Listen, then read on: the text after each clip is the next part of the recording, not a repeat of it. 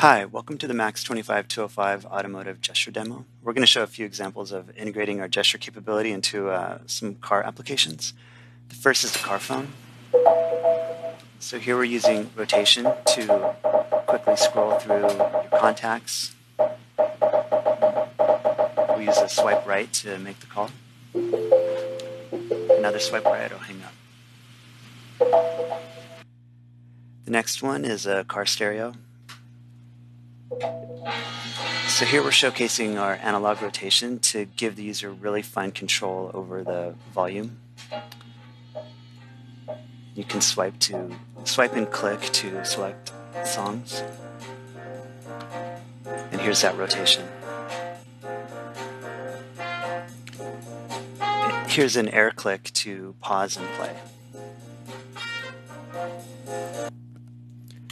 Okay, the next one is climate control. So here there's multiple functions. Uh, we'll use rotation to adjust each dial and then swipe to select the function. So again, here's the analog control to be able to zero in on the specific uh, value you want.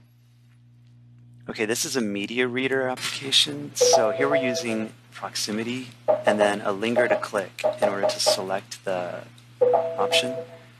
And then quick swipes to move through the media. And then finally, a game example. There's a lot of things you could do here. Uh, this is just one small example.